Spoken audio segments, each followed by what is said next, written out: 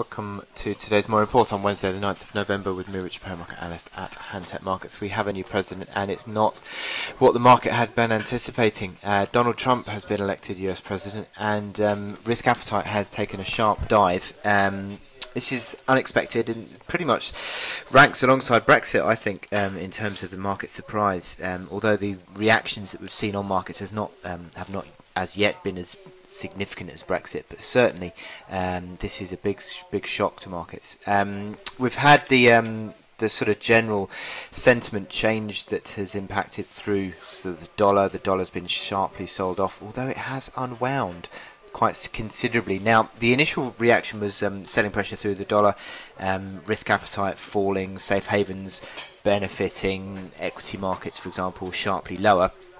But that has unwound slightly on the back of this um, uh, acceptance speech by Donald Trump, in which he was fairly conciliatory. Actually, he was um, sort of talking about um, being um, sort of one America and uh, sort of governing for the whole country, and which I suppose is, is fairly fairly sort of sensible rhetoric anyway, but um, also talking about a lot of um, fiscal spending, a lot of um, infrastructure spending. So that's um, sort of ten has tended to sort of settle nerves to a certain extent, and the dollar has sort of come back a, a significant away on the back of that. Now, not only that, we've seen the U.S. Treasuries, which sharply were lower on the 10-year, but that has completely and utterly unwound now. The U.S. Treasury is actually up on the day on the 10-year. Now, the two-year is well, again was sharply lower, but is sort of again has unwound. But the steepening of the yield curve with the 2 to 10 spread sort of continuing to climb suggests that that is a sort of positive for growth, I suppose.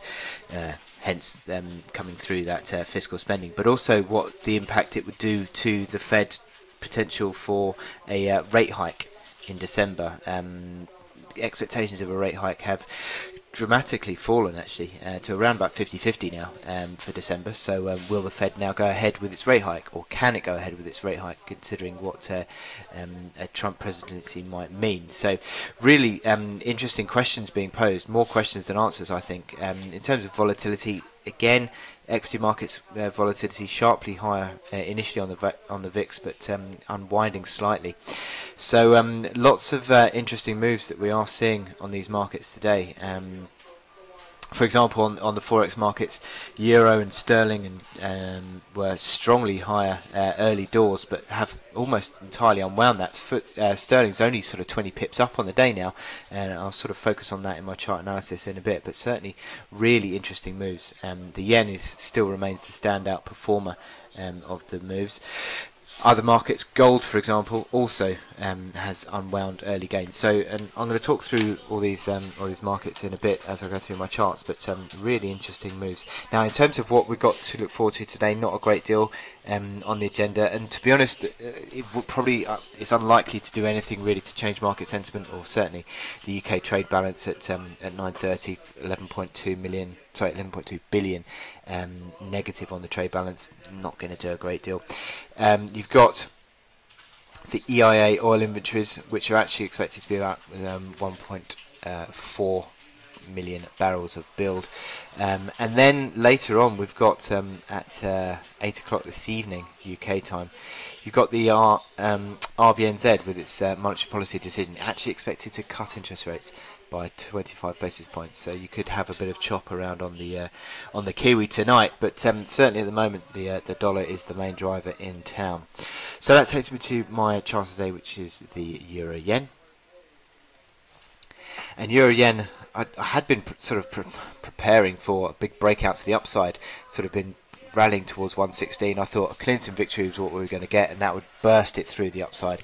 But in the event, we've had a Trump victory, and that's uh, driven a safe haven flow to the yen, and subsequently, dollar um, euro yen has sharply fallen, but not an enormous amount. And you would argue still that um, having broken out above that uh, downtrend that's been in place throughout this year that downtrend has continued once again to play a role as the basis of support, as it did last week.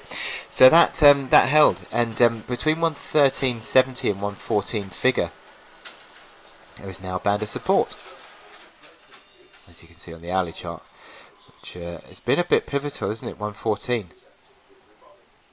So arguably, you'd say that's really holding. So it's very interesting to see what happens now with this support. I think this is the key level you need to look out for. Um, you've just started to see the yen strengthening against the euro again, um, and the near-term outlook would still be negative on euro yen. However, that key support band around 114, which is that pivot, I think um, will be very much watched in the coming days. And if that is a that could be a gauge for euro yen as a as a whole. If you sort of break below 114, I think you're going to sort of drift back towards the range lows around 112. So um, you look at these momentum indicators; they're fairly neutral, aren't they? Stochastic's still reasonably positive though. MACD line's marginally positive, but RSI sort of draw, dropping back towards 50. Again, a move below 50 would be negative. So this is all sort of um, this could be a, a, fairly interesting barometer for market sentiment generally, because obviously the yen is a, a, key risk trade or risk on, risk off trade, and uh, euro also um, will be interesting. So I think euro yen could be a key barometer, but around 114, I'll be watching that, and uh, if it holds above that, then you could still see risk relatively positive uh, in the reaction to the Trump uh, victory. So I wish you good luck in your trading today, and I'll speak to you later. Thank you.